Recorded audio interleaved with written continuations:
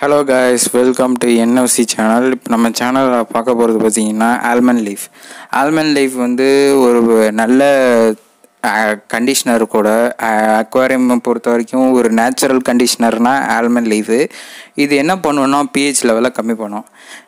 PH லெவலை வந்து ந- நல்லா க கம்மி பண்ணுறது மட்டும் இல்லாமல் மீனோட இம்யூன் சிஸ்டத்தையும் அதிகப்படுத்துது. இன்னும் நிறைய நமக்கே இது வந்து நிறைய ஹெல்ப் பண்ணும். டயட்டு இதுக்கு எல்லாத்துக்குமே நமக்கும் ஹெல்ப் பண்ணும் இது. இதை நம்ம சாப்பிட்டோம்னா ரொம்ப நல்லது இலைய. பட்டு இது வந்து என்ன சொல்கிறது பிஹெச் லெவல் அதிகமாக உள்ள ஃபிஷ்ஷஸ்க்கு வந்து இது சூட் ஆகாது. பிஹெச் லெவல் கம்மியாக இருக்கணும்னு நினைக்க அந்த மாதிரி சூட் ஆகிற ஃபிஷ்ஷஸ்க்கு இது வந்து ஒரு நேச்சுரல் செட்டப்பாக இருக்கும். இப்போ லாக்டவுன்றதுனால யாருக்கும் மெடிசன்ஸ் கிடைக்காது. அதுக்கு வந்து நீங்கள் பக்கத்தில் இருக்கிற நியர்பை உள்ள ஆல்மண்ட் லீஃபை வந்து நீங்கள் சூஸ் பண்ணி நீங்கள் யூஸ் பண்ணலாம். இந்த ஆல்மண்ட் லீஃப் யூஸ் பண்ணிங்கன்னா கண்டிப்பாக பிஹெச் லெவலாக நல்லா கம்மி பண்ணும். தண்ணி வந்து ப்ரௌனிஷ் ஆகும்.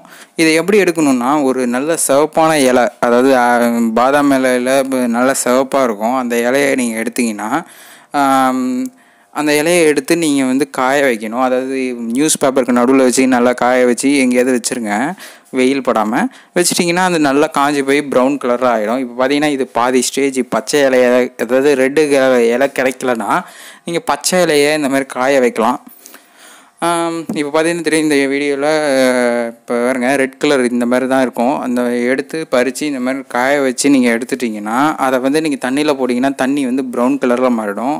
அந்த தண்ணி ப்ரௌன் கலரில் மாறினோன்னு நீங்கள் கவலைப்பட அது ஒன்றும் பண்ணாது. மீனை இந்த வீடியோவில் நீங்கள் பார்க்கலாம். இந்த மீன் வந்து ப்ரௌன் கலரில் இருக்கும். கீழே பார்த்தீங்கன்னா ஆல்மண்ட் லைஃப் இருக்கும். அது ஒன்றுமே பண்ணாது. மீனை பொறுத்த வரைக்கும் இந்த செட்டப் வந்து அதுங்களுக்கு ரொம்ப பிடிக்கும். அதாவது இந்த இந்த ஆல்மண்ட் லீஃப் ட்ரீட்மெண்ட் வந்து நேச்சுரல் மீனுக்கு மட்டும்தான் சூட் ஆகும்.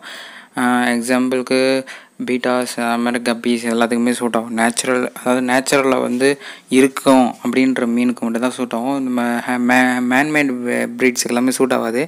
எக்ஸாம்பிளுக்கு பிளட் பிளாரட்டு ஃப்ளோரான்னு அந்த மாதிரி இன்னும் நிறையா இருக்குது. மேன்மேடு ப்ரீட்ஸ்க்கு எல்லாத்துக்குமே சூட சூட் ஆகாது. ஏன்னா அதுக்கு ஒரு நேச்சுரல் செட்டப்பே அதோடைய டி டிஎன்ல இருக்கு இருக்காது.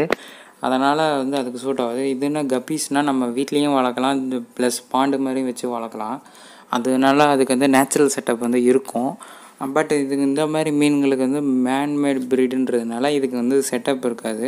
இதில் வந்து மேல் ஃபீமேல் ஐடென்டிஃபை பண்ணுறது கொஞ்சம் கஷ்டமாக இருக்கும். அதனால தான் இது மேன்மேட் ப்ரீடுன்றாங்க அதாவது பிளட் பேரட்லாம் எடுத்துக்கிட்டிங்கன்னா அதை கண்டுபிடிக்கிறது கொஞ்சம் கஷ்டம்தான்.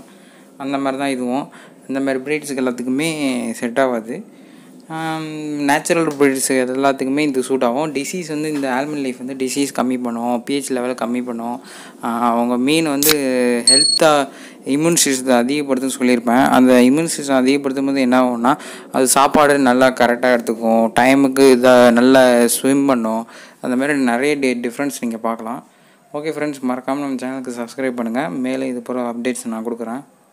தேங்க்யூ ஃபார் வாட்சிங் கீப் வாட்சிங் இதை பற்றின ஒரு டீட்டெயில் வீடியோ வந்து நான் இதாவது டீட்டெயில் வியூ வந்து நான் வந்து கீழே டிஸ்கிரிப்ஷனில் நான் ரைட் அவுட் பண்ணியிருக்கேன் அதில் பார்த்து தெரிஞ்சுக்கோங்க. மறக்காமல் இந்த ஐக்கானை கிளிக் பண்ணி நீங்கள் சப்ஸ்கிரைப் பண்ணுங்கள்